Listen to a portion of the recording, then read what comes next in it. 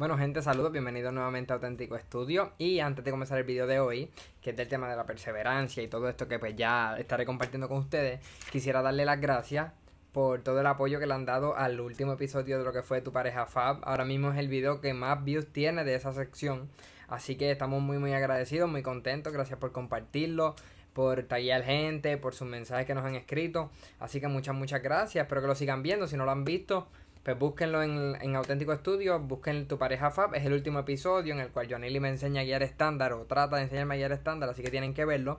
Y antes de comenzar me gustaría decirle, como siempre, tienen que seguir estas dos páginas en Facebook para que estén al día de todas las ofertas y todo lo que está ocurriendo. Lo primero es que tienen que seguir a AA Wireless, AA Wireless se escribe.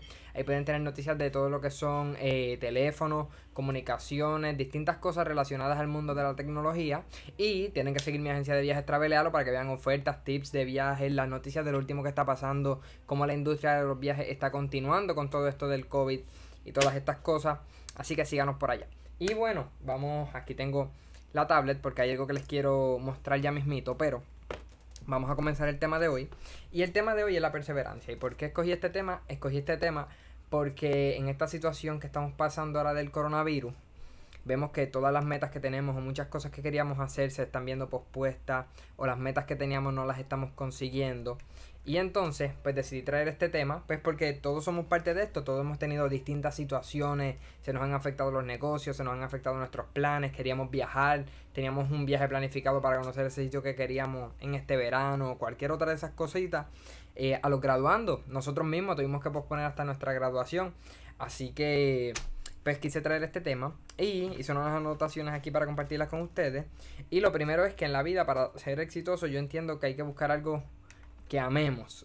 Y cuando digo algo que amemos es porque ser exitoso o lograr las metas en la vida de por sí es difícil. Ahora, imagínate qué tan qué más difícil que tratar de perseguir una meta haciendo algo que no te gusta. Por ejemplo, todo el mundo habla de ser millonario o de tener tantos carros o tantas casas, pero yo creo que más que perseguir eso que viene siendo la meta, hay que disfrutar y trabajar en el proceso.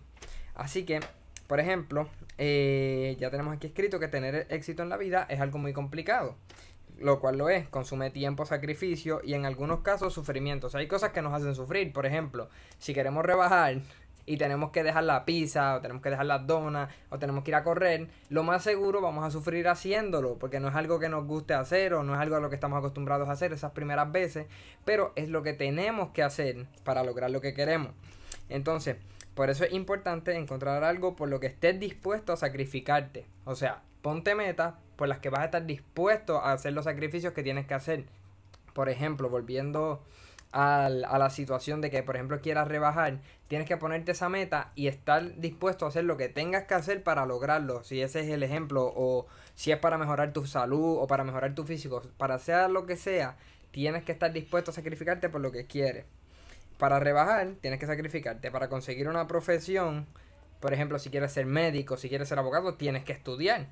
Si quieres eh, tener un negocio, se habla de que, eh, dependiendo del caso, muchos negocios no comienzan a ver ganancias dentro de los primeros 2, 3 años.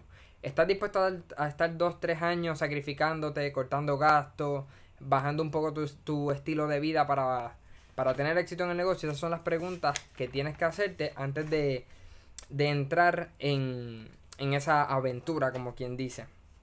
Entonces, si una vez ya tú estás seguro de que eso es lo que quieres hacer, por ejemplo, quiero abrir este negocio y si estoy dispuesto a pasar los 2-3 años, entonces tienes que aprender a enamorarte del proceso, tanto como estás enamorado de la meta. O sea, todos soñamos con viajar el mundo, todos soñamos con tener una gran casa o tener un gran carro, y esas son las cosas que nos enamoran y los que nos ponen ahí en primer lugar, pero tenemos que enamorarnos también del proceso para conseguirlo, tenemos que enamorarnos de levantarnos a ir a trabajar, tenemos que levantar, eh, enamorarnos de hacer los sacrificios que hay que hacer, tenemos que enamorarnos de estar en, por ejemplo en mi caso, estar en la agencia, atendiendo gente desde temprano hasta tarde, trabajando horas extra, hay que enamorarse de todo ese proceso para poder lograr lo que queremos.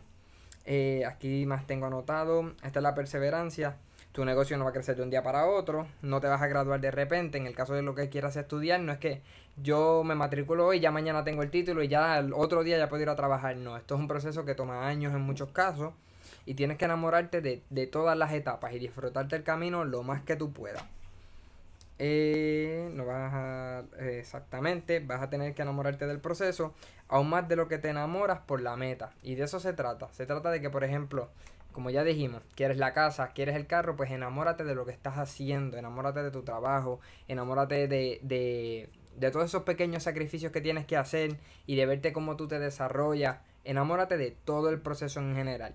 Ese es más o menos el, el mensaje que les quería llevar hoy que se enamoren de lo que están haciendo, no piensen solamente en la meta, en llegar a la cima de la montaña, enamórate de las subidas, de las piedras, de lo que encuentras en el camino, de la gente que encuentras en el camino que está en la misma dirección que tú, de la gente que no está en la misma dirección que tú o no te aportan y la tienes que sacar de tu vida, pero alguna enseñanza te dejaron, enamórate de todos esos procesos para que puedas lograr lo que tú quieres. Y para cerrar, quería compartir con ustedes eh, una noticia que ahora con esto del coronavirus, como estábamos diciendo, y con todas estas cosas, pues estamos pues teniendo la situación de que hay muchas noticias que no son las que queremos.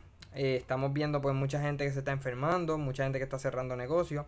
Y hay una página de internet que se llama goodnewsnetwork.org como buenasnoticiasnetwork.org, goodnewsnetwork.org y tiene muchas noticias positivas, que esto es por ejemplo si tú encuentras que estás muy negativo o estás cansado de, de seguir como quien dice viendo tanta cosa negativa en las noticias, escuchando tantas cosas negativas, rodeándote de gente que quizás no es, no es positiva, pues esto es una página de internet que tiene muchas noticias y se dedican solamente a noticias buenas. Tienen una sección en español y ahí fui yo a buscar una noticia positiva para compartir con ustedes.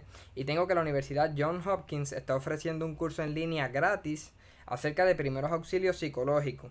Y aquí para leerles un poquito, es que la universidad publicó un curso universitario gratuito en línea para realizar primeros auxilios psicológicos en personas con depresión, ansiedad o angustia, angustia emocional. Desde que se lanzó al público, miles de personas de todo el mundo han completado el curso con más de 200.000 estudiantes ahora mismo matriculados. O sea, son gente que están viendo la situación que hay, ven todo lo que está pasando y no están pensando en ellos mismos, sino en darle a los demás.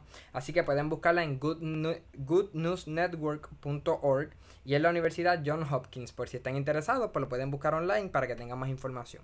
Así que nada, tenemos hasta ahora esto. Eh, decirles que vean el video de, de ayer, del domingo.